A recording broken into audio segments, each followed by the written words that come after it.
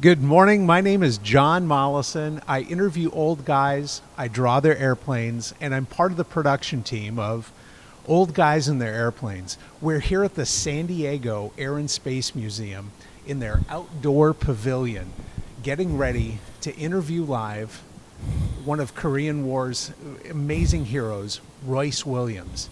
Now, what you're going to see on the screen is you're going to see a number for you to text questions but to get that, uh, get your mind going of what kind of questions that we can ask this guy, uh, we're going to have a little film. It's about 18 minutes, and it'll give you a background of Royce's Korean War service, but also insight into his character and the kind of person that can do something so amazing. Sit back, and in about 18 minutes, we'll be back live with Royce Williams. Everyone seems to understand that the odds are, in some way, stacked against them. After all, there's that old phrase that no one gets out of life alive. But still, we have to face tomorrow's challenges. Well, that's the value of a hero story. They tell us that whatever it is, it can be done. Against all odds, victory can still be achieved. Still, we have to be careful that we don't get fixated on the story and forget the substance that made the story. On November 18th, in 1952, a Navy pilot was pushed into a moment where he had to defend himself against overwhelming odds.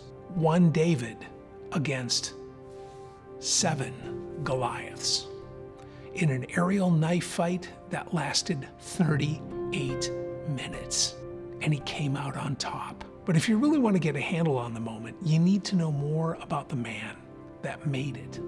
This is the story of Royce Williams, a child of the Great Depression.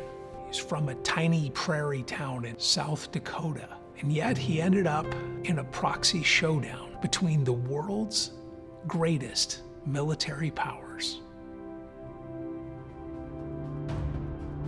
When we got on top of the clouds, they were probably 50 some thousand feet and uh, putting out contrails. And I saw them as they were closing on us. We were head on at each other.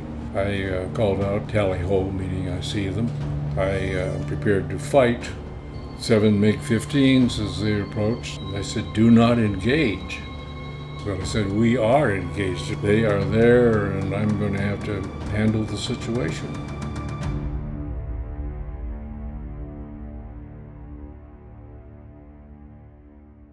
We lived right on the edge of town and we had a large grove of trees next to it. I spent a lot of time over there just bird watching and so forth.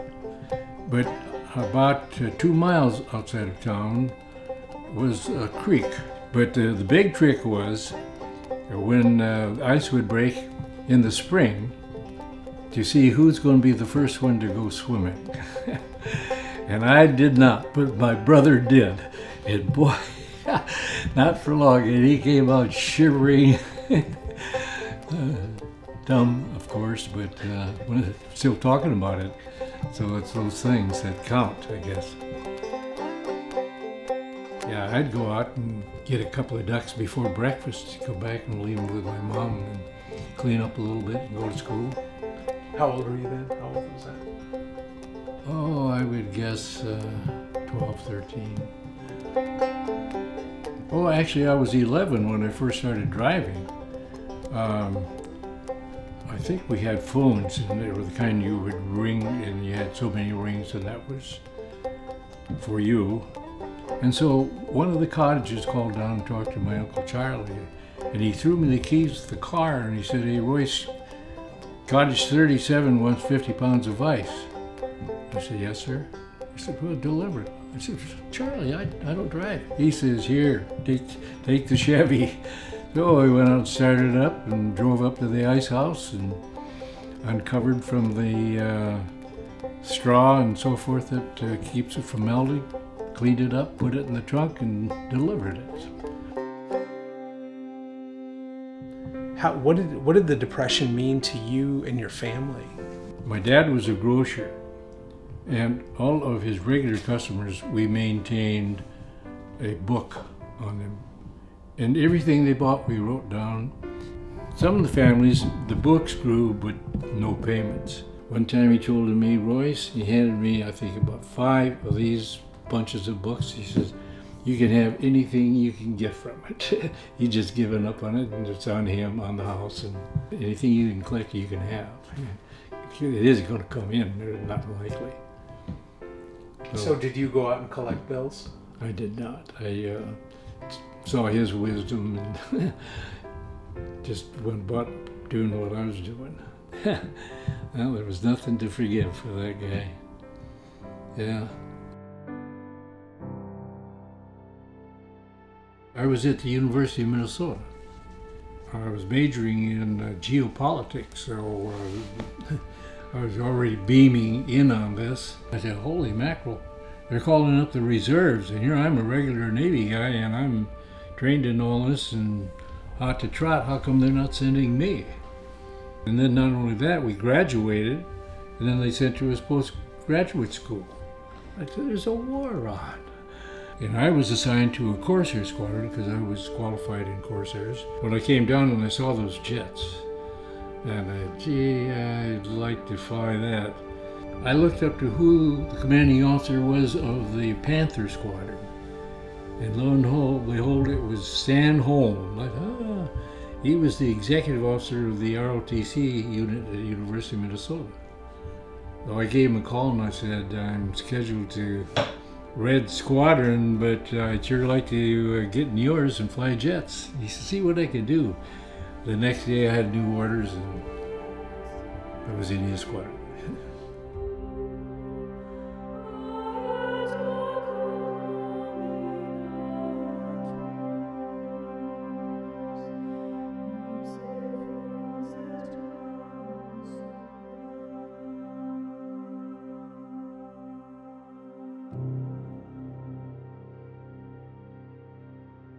one MiG versus a one Panther. Is that a is that a fair fight? Uh, somebody has surprise, they've got an advantage. Uh, depends on the situation, but uh, if they're both uh, up to fighting, the MiG has the advantage.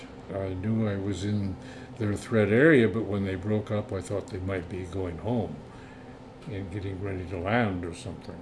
So when they came in, invisibly, all shooting, was a surprise. And uh, uh, immediately maneuvered and uh, got in a good position for a short burst and shot down number four. And uh, he started smoking a little bit, but he dropped out of formation. And my wingman at that time directed all of his attention to that guy, left me, and followed number four down. So there were three there, and that's where my attention is. And they zoom on up and a high rate of climb. And uh, I tried following them best, but they were getting ready to reattack. And meanwhile, these three are coming in from another direction. So I uh, prepared to fight uh, with uh, checking my uh, gun sight and testing my guns. And uh, I didn't have any instructions about what to do, but uh, they, I told them it's seven MiG-15s as they approached and turned around right over me, heading back to the direction they came from. And they said, do not engage. So there were my instructions, I guess, but I said, we are engaged. There's no way I can duck out safely at this point. I mean, they are there and I'm going to have to handle the situation. I've got my concentration on whatever is active at that time. In the meanwhile, they're swirling or whatever, gaining a position to take their turn. Lead aircraft is, has his wingman, and the guy that just lost his uh, wingman went down and being followed by my, my wingman. Went off to the left and probably 2,000 feet above and turned, and that's the one I was initially tracking, but he was in the sun when I saw the other two coming from a little farther over and different. And the lead aircraft started firing at me very soon after I moved over to track them. But he shot briefly and they were closing rapidly. And so I fired a short burst and he turned and uh, I noticed his wingman now was kind of closing on me. The other, I didn't keep track of him, but but the other guy came in and uh, he's dead head on with me and we're coming like this, and he's shooting. We're, at this time, he's in range when I switch to him, and uh, he's shooting, and I'm shooting, and he suddenly just quit, and he kept coming, and coming, and I kept firing, and he slipped right underneath me, with no maneuver at all, and uh, in as much accounting for how many were lost, I have a feeling that he was dead. From then on, the other three are making their attack because they are positioning while these others are now having to regain uh, a position on the altitude and uh, position. So from then on it's one after time and I'm just flying along and we've got all these up here. And so I'm seeing this guy come at me and he gets in and I'm just turning as hard as I can into him to um, mess up his aiming and so forth. And he's shooting and shooting, and uh, most of them, as a routine, regular, good fighter pilot maneuver, pulled on up to where I'm unable to track or anything, and he's just going for another shot, and another guy's coming in. One of them made a mistake, and uh, they, came on in, and he's shooting at me like this, and he kind of ducked underneath me, and he made a turn at my altitude, and I was pretty close, and I fired on him, and uh, a lot of pieces started coming off the airplane, and, and he was hit severely, and I had to maneuver hard to avoid uh, hitting him. So at one point, a, a guy goes in and he comes on by, and I get a lucky shot on him from a good angle off, and he starts slowing, and I come on around and continuing firing, and I run out of ammunition. But he's now smoking and just dropping out. And I look on around, and here's another MiG, and uh, he slipped on in while my attention's on this thing, and I'm straightening out a little too long. And I make a nice target for him, and he hits me with quite a good angle off and put a 37 round right into this part and went into the accessory section of the engine and really messed up my airplane and I had difficulty with controls uh, out of ammunition and he pulls in right behind me at an ideal probably um, 400 feet maybe and he's just shooting away and the only uh, really operational, accurate, effective control I had was the elevator. Um, the cables to control the rudder were shot away, and I could kick the pedals around, but they were disconnected. And the uh, hydraulics for the uh, aileron control were shot, and I had difficulty. And it was out of out of trim, and I was having to use both hands on uh, the stick to maneuver. But he comes in and right behind, and luckily I'm aimed right at the task force, and we've got this big uh, snowstorm in between at 12,000 feet down. So I'm diving for that on the way to the task force, and he's just sitting there shooting, and I'm pulling back on stick and then just pulling it, shoving it forward, and I'm going like this, and he keeps shooting over the top of me and underneath of me and so forth, and we both ended up in the clouds, and he probably lost sight of me, and I, my attention is now to um, the condition of the airplane. Uh, should I eject? Uh, uh, no, uh, I wouldn't survive it. I'm too far from the task force for any rescue, and my time uh, of survivability and the conditions of the cold uh, water and so forth, I wouldn't have made it. So I said, best stick with it and see how it comes out. I got so low under the clouds, I didn't have the, the capability for the systems at that time to eject safely. So I'm stuck in the airplane. I could, of course, crash landed in the water, which isn't 100% uh, survival, really, but uh, who knows. My problem is how do I get this thing back on the aircraft carrier? One, two hands on the stick, and all this time I was at full throttle and probably using a lot of fuel, but I never checked on fuel. I just didn't have time to put my attention there. I put my landing gear down and my tail hook all by gravity because uh, I didn't have the hydraulics. And I'm testing to see at what point would I stall. And at 170 knots was the point. Anything below there and I was losing control. I'm uh, back here and the ship is over there. So I'm flying, but I can't maneuver the airplane to come over and line up with the deck into the wind. But I could, I keep going at the air, at the ship. So I'm notifying the landing signal officer that I can't line up. He said, we'll cut you for an early wire. And the ship's here and the wire, so like, I'd probably go like that and right over the side. I might have caught a wire and hang, but uh, not likely at 170 knots. So I was coming in hot, off center, looking bad, and the captain of the ship kicks it around and lines it up with me, and bingo, I land and catch number three wire, just like uh, it was meant to be.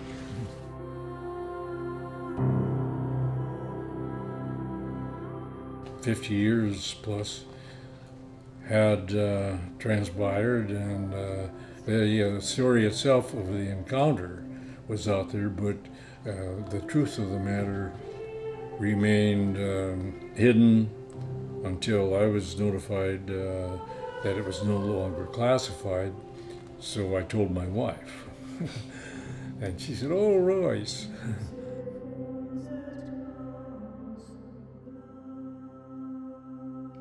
You've lived a charmed life.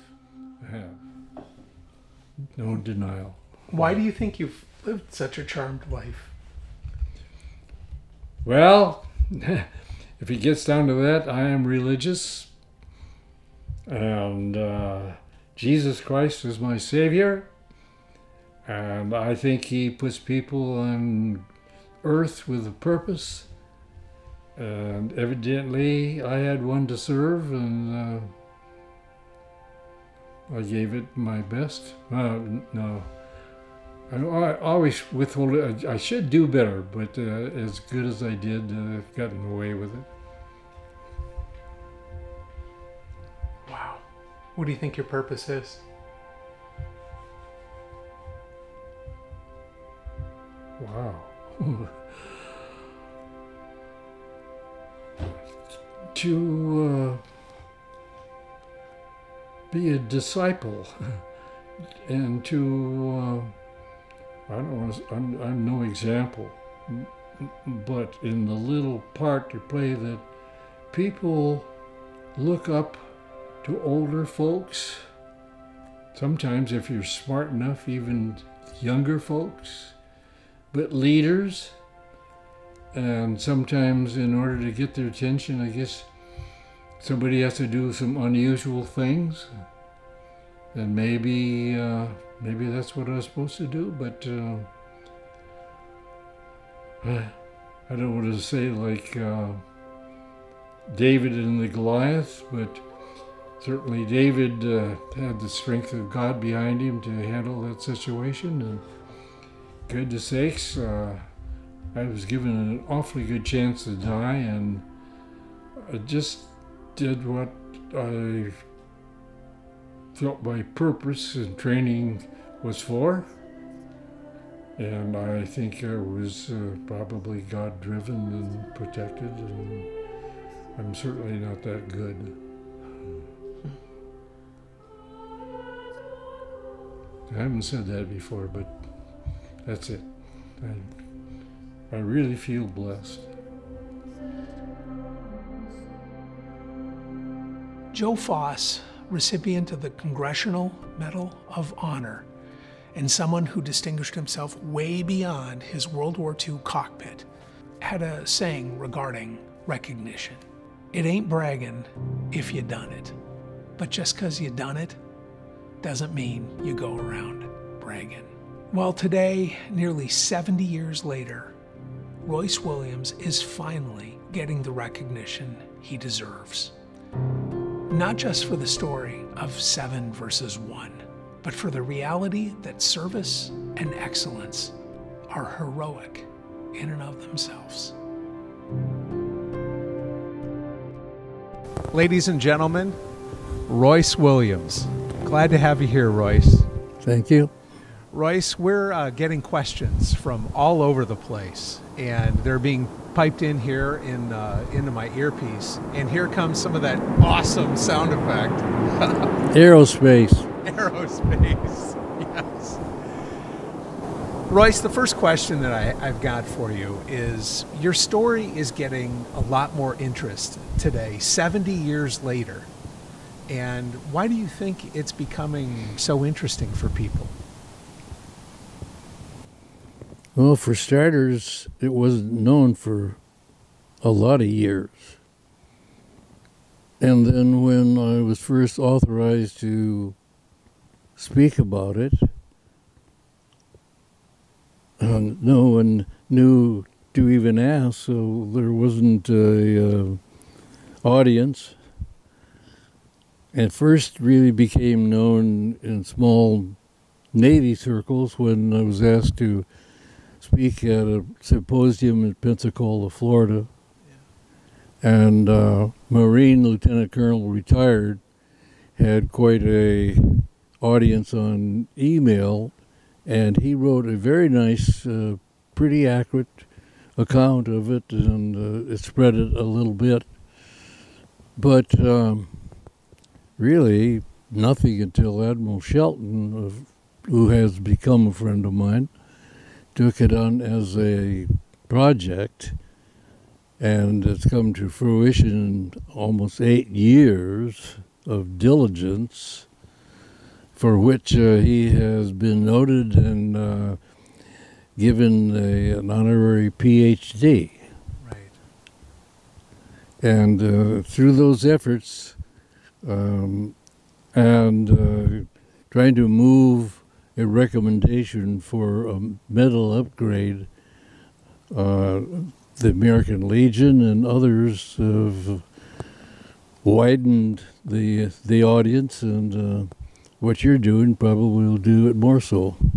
When you brought up the question uh, about a medal upgrade, now for for your uh, for that November 18th uh, action, you were awarded the Silver Star. But when you're talking about a medal upgrade, it's for the Medal of Honor. That is the hope. The hope. Well, here's here's a question from a, a listener that so many years ago. Do you do you ever think, boy, I wish I would have gotten the attention when I was 27? Does that ever cross your cross your mind, or are you happy with the way things turned out? Yeah, I live with what is, and uh, it became sort of a nothing, and more or less uh, made little difference in my life. Uh, certainly, has changed somewhat now that uh, the word is out.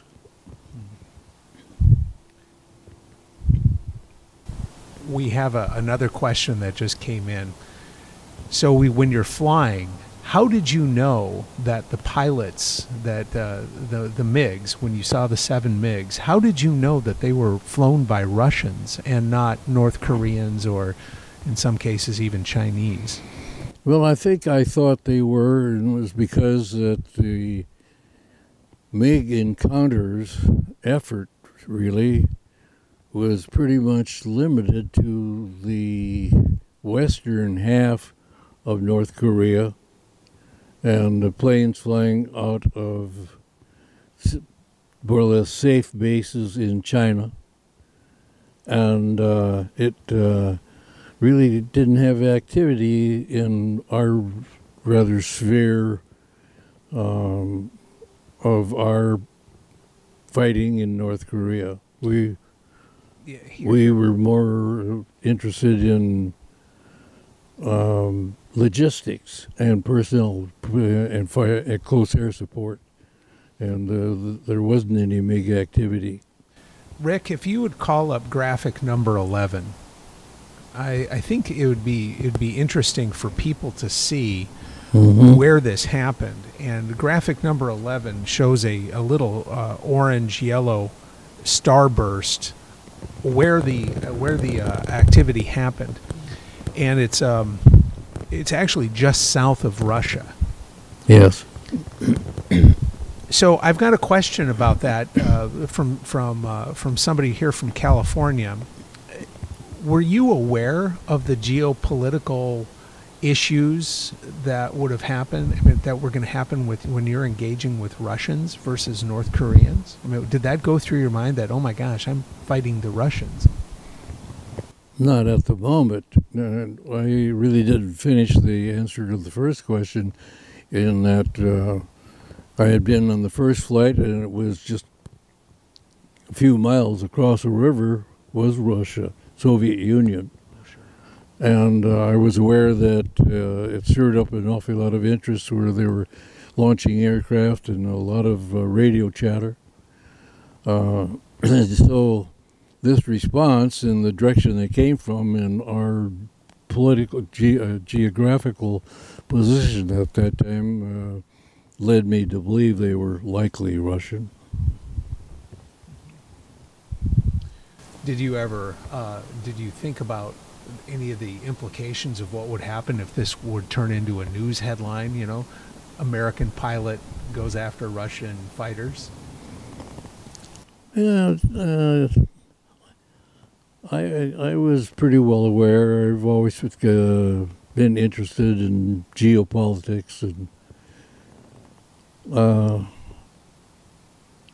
being on the carrier in a war condition and not having current um, media um, opportunities uh, we were fed very little about what reaction might be taking place, but in my mind, I could see that uh, we had been worried all along about complications. Certainly, the Chinese surprised us by coming in with hordes of enemy, and basically, the fight in North Korea was as much against China as it was North Korea, and an awful lot of support came from other communist countries, and Russia was right next door.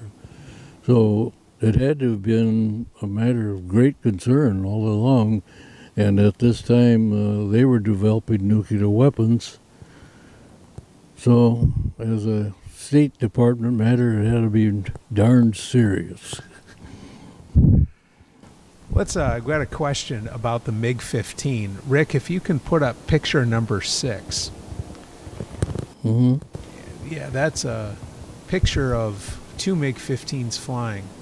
How um, how uh, how versed were you in understanding the performance of a MiG 15 versus the performance of your Panther?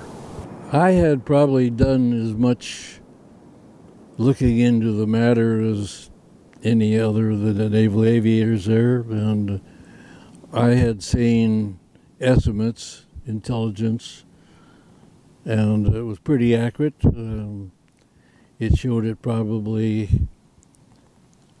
as versus the uh, F-86 from the Air Force that uh, in many areas they were co-equal. Some the MiG bettered the 86, and likewise the 86 had a couple features that were better. So, uh, but all of them were in a realm that uh, was significantly better than the airplane I was flying for air-to-air fighting.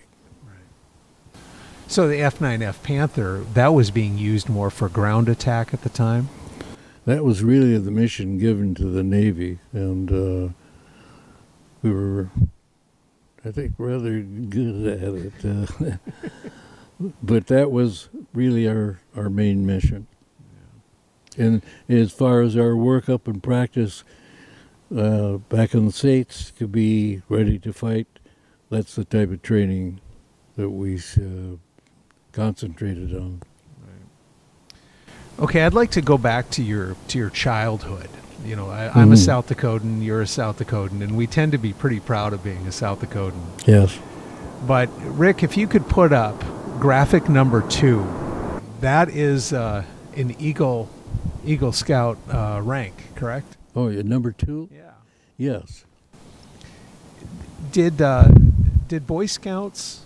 Do you believe Boy Scouts uh, played a part of um, uh, your character building? What role did it play? I mean, you achieved Eagle Scout, and then you went on to to start four troops. I, I I would have to think that that helped make you part of who you were at the time of this moment. Oh, certainly. Um, I did a lot of work on farms uh, during the summer when school was out, and even sometimes if they had a need because of weather delays or rain or something, they uh, asked me to take uh, some time out from school and uh, help on on farm matters. Um, but uh, with the athletics and uh, the camping and everything that I love to do, a lot of work uh, on on the water and swimming, and I was a uh, uh, junior Red Cross uh, life saving trained, and it it just fit right in with scouting, which was of high interest. And uh, I started achieving, and I think that encouraged more. uh, build on that, and uh, took time off from other things to pretty much by myself go camping out in the middle of nowhere and start working on merit badges, and uh, I liked it. Uh, there are today a lot of expanded uh, merit badges, but uh, w- the ones at that time were pretty much just right for a kid from South Dakota uh, loving the outdoors. Sure. And it taught you a, a sense of independence. Definitely, yes, yes. I a, a lot of time would just hike on out to uh, kind of forested areas and uh, by myself uh, spend a week or two. Kids don't Yeah. do that today. No, I don't think so. Okay, we're getting a number of questions that are, are that play into what you were just describing. And the questions are facing hostile environments. I mean, I don't think you can put yourself in a more challenging position. You've got, you know, fast forward to 1952 and you're in your Panther and you have seven uh, superior MiG 15s. That's definitely a hostile situation uh, looking back, um, how do you think you you uh, you reacted? Why do you think you reacted so positively? And now that you've had time in life to think about what you did, what kind of advice would you give somebody else who is in a similar hostile reaction or uh, environment? Well, uh, I'd faced uh, challenges before, and I had training for um, this event. Very little, I'll have to say, because in peacetime, it used to be that uh, they didn't want to take additional risks. Sure.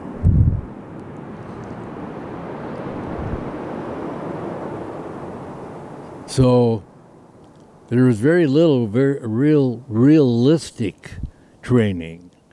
Uh, there was safety built into what we did.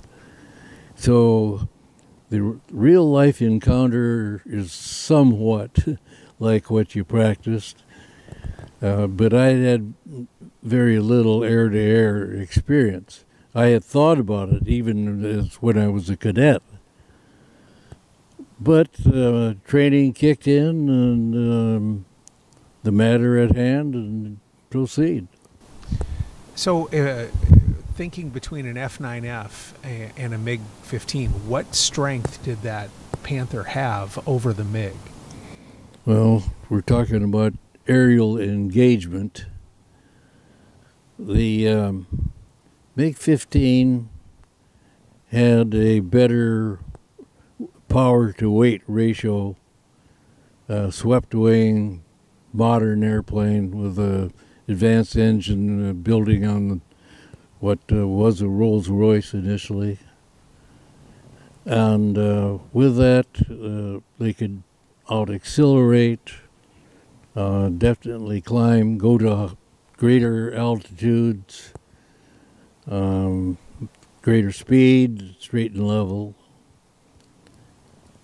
And probably turning might have been pretty much equal. The advantage I had was a uh, computing gun sight. Really? And uh, I used to practice with kind of who we called it the iron sight. It was just mounted, and you would do your mental calculations of how much lead to give an airplane that's turning.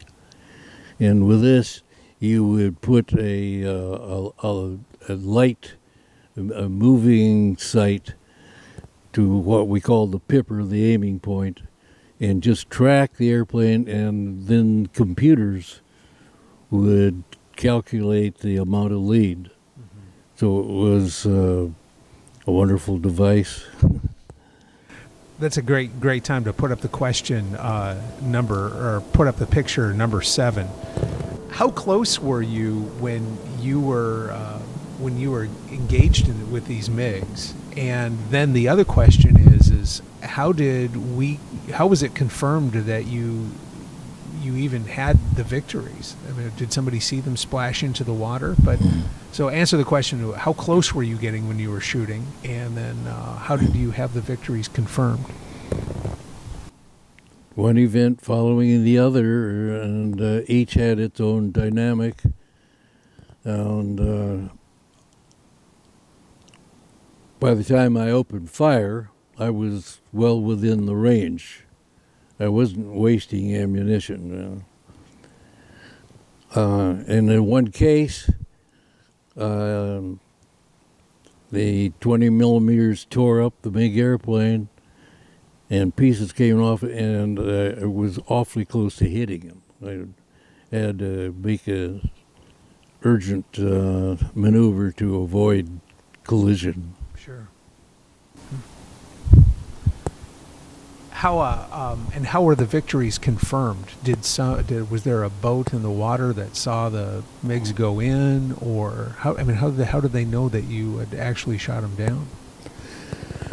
Well, my wingman at the uh, beginning of this fight, when four in uh, and a formation were all firing and that started the event. And I uh, made a, a, tight turn and ended up right behind their uh, last airplane, within range, and shot uh, a, a, short burst of, of uh, bullets. And uh, and he started well. Mainly, he dropped out of formation, and the others pulled up into uh, a, a real high climb, and I f- following them.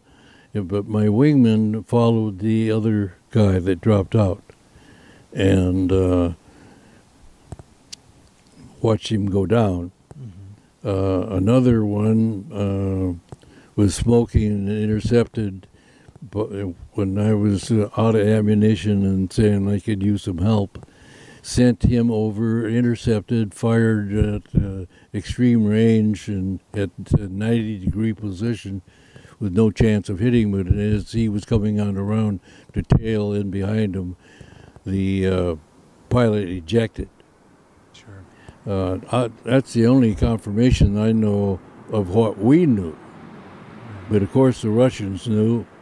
And in uh, the early 1990s, as they broke up from the Union, uh, Soviet Union, uh, they made it uh, common knowledge and uh, putting it in their newspaper. Sure. With the names of four. there may have been others, but that I have one other name floating around, but it's, uh, it's not confirmed like the others. So you know the names of the pilots that, uh, Yes. and you know that they were lost. Yes. We're getting a question. Why didn't anybody else come to help you? I mean, you were up there all alone. What, do you ever wonder about that, or do you have an answer? Well, we had three carriers up there, and normally you would have one of them at the ready where they could launch. But uh, they probably weren't manned, and you've got to notify uh, the ready room where the pilots are, and maybe they aren't uh, dressed for it. Uh, because of the weather in wintertime, we were wearing a special immersion flight suit uh, to give you a little better chance of surviving in cold water. So it isn't likely that they were all set to go, and nobody ever expected that there would be such an encounter. So the time it takes and so forth. Actually, uh, the next ones in the air was my commanding officer with uh, four airplanes, and uh, he was airborne and below this 400 foot ceiling of, in the snowstorm, and he spotted me coming back. So it, the, the fight was over and, as they were coming up to rest uh, to replace us. Uh, but he noticed that the uh, destroyers were shooting at me, so he got that stopped, and then he climbed through the clouds just in time to see in a distant two MiGs heading back to where they came from, Vladivostok. It's possible you may have uh, may have uh, res- gotten a fifth victory, making you an ace in a day. Is that true?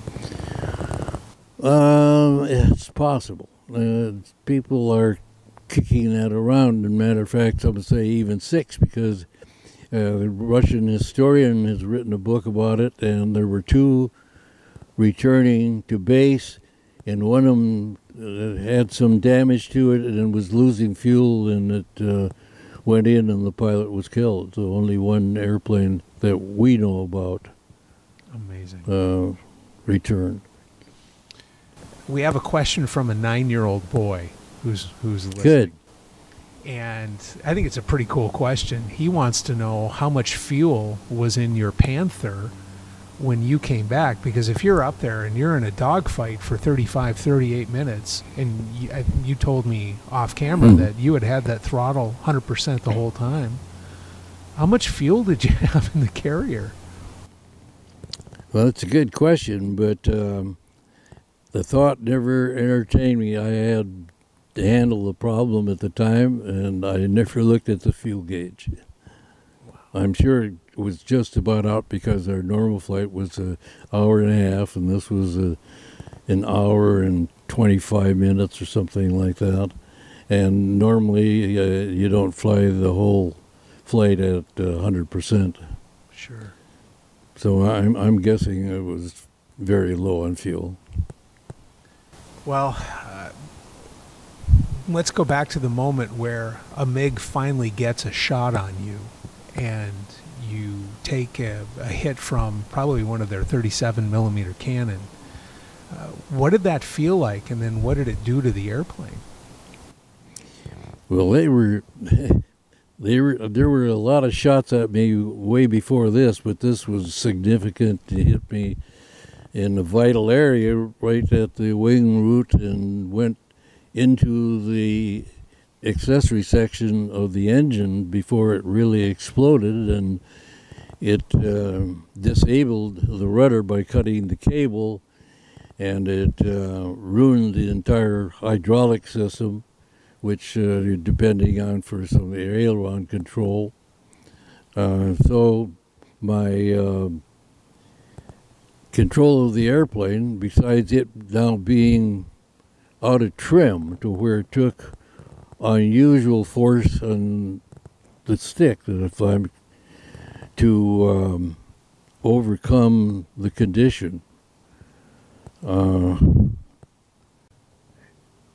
uh, so it was. Uh, I, I had I had the elevator, the part of the tail that makes you go up and down with the the nose, And uh, this guy that hit me then, uh, with the excess speed and so forth, just came right around and sat at a perfect range behind me, probably three, four hundred feet, and just shot uh, full time. And I was just uh, dodging, going up and going down, as drastic as I could do it, and it worked. and I could see the bullets uh, go under me and over me, and but um, I got into the clouds. This uh, fight took place where the frontal system had moved on and it was clear air, but the carriers were still under this uh, storm system. And uh, when I got into that, uh, that probably saved my life. Uh, although the guy had done a lot of shooting from right on my tail before we got there. We started at 26,000 feet, and the tops of the clouds were at 12,000. And you came back on the carrier and you landed at 170 knots, which is way over over typical landing speed. Yes. Yeah. And we're getting questions about the gun camera film. You're landed. I'm assuming that the gun camera footage is taken from the plane almost uh, really quickly. Absolutely. And what happened to the gun camera footage? Well, I don't know a lot about it. It disappeared, and as I learned later, and kept my mouth shut about it, that the NSA, which is now common knowledge, was on its first operational mission, and concerning the whole operation, it was highly classified. So I think the film is in their hands, their depository someplace. Uh, I never saw it. I was given a little snippet of it, which uh, I use in uh, some of the training that uh, I did later on. But it didn't really show much of anything, and I don't know where that is. But uh, the basic coverage um, disappeared. And besides that, a little bit of handiwork on the sailor that developed it. Thought he was Cecil B. DeMille or something. He did a, a little uh, editing uh, and scraps uh, so it is where it is, and nobody that I know knows where that is. That's an amazing, amazing story, but it's not just the only part of your life. You uh, stayed in the Navy and you made a career out of being a naval aviator. And you ended up uh, also serving in Vietnam. I, am curious, uh, how many how many combat sorties did you fly in in Vietnam? Oh, I think uh, 130 or something like that. Yeah one of the interesting aspects that I've found about learning about your service is that you were involved with the uh, your Vietnam War service, that you were involved with um, with uh, uh, meeting the families of of uh, POWs. Yes. Describe how you interacted with the families. What was your role in, in reaching them? Mrs. Sybil Stockdale was the wife of the senior prisoner of war. James Stockdale. Yes, Stockdale. And uh, she became a source for intelligence and uh, uh, certainly with Navy intelligence, uh, as was I, uh, as the director of Prisoner War Matters. And uh, I had pretty much full authority to do whatever I thought uh, would be helpful. And I was a member of all of the existing committees with the joint uh, under uh, Assistant Secretary of Defense.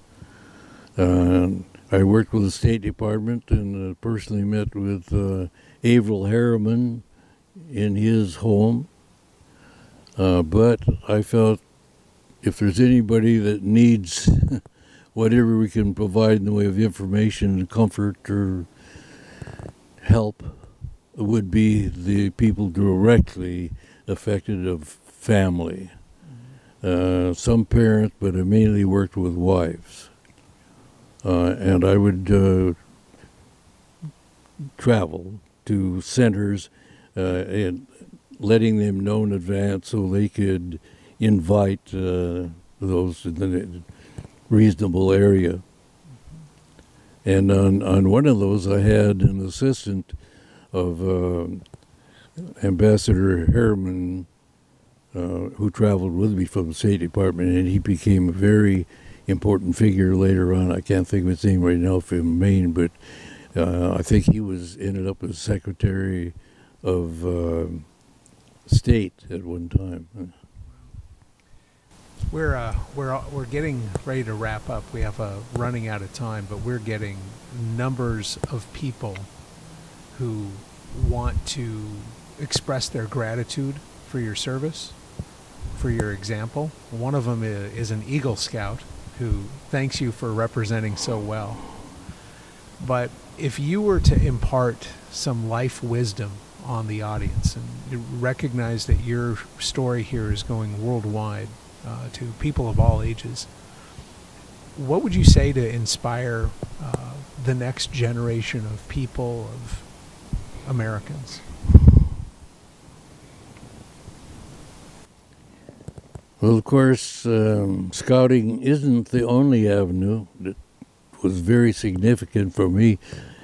I'm kind of a joiner. I was with the 4-H club and the Future Farmers of America. And part of it, I suppose, is um, society. You're not there by yourself. You're interacting, uh, uh, trying to achieve something. You've got purpose. And it's not what do we call it? Not a gang. If uh, that's the closest to a gang at that time was probably the Boy Scouts, and it was well purposed.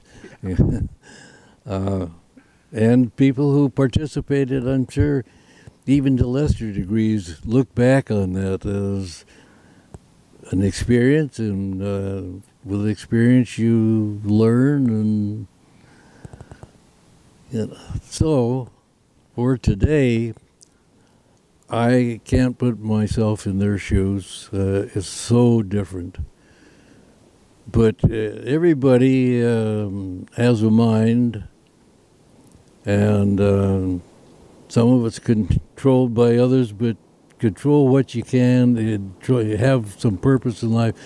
Uh, what do you want to do? And you probably list some things. Fly jets and you might think they're beyond achieving, but uh, maybe you can find something to do that would help you decide. Um, you have you have to have purpose, and uh, not willy nilly and a leaf in the wind and do whatever somebody thinks is necessarily right for you but wondering if you are attentive and purposely doing something, you find the, the lead you need. And then, of course, the other is opportunity, a big part of it. And don't be afraid uh, to get started someplace. Everybody has to at some point, and and and if you have somebody that can counsel you, uh, work with them. So you grow up.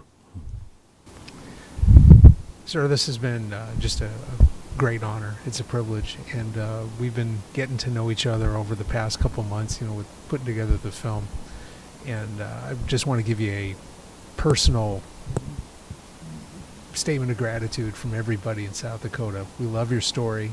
We're hearing about it, but I think you're also a national hero and a national treasure. Thank you for taking time to be here. Well, it's my pleasure, and uh, I uh, I think you've done something for me. Oh. Thank you. All right. We have a We have a saying at Old Guys and Their Airplanes when an old man dies or an old woman dies, a library burns.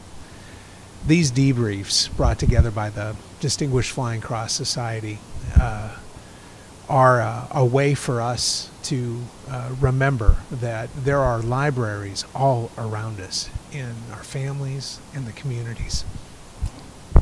That was really cool. Thank you. In the families and the, uh, the communities we reside. So, though and uh, when an old man or an old woman uh, dies, a library burns, if we get to know it, if we check out the volumes in their minds, we can pay it forward to generations to come.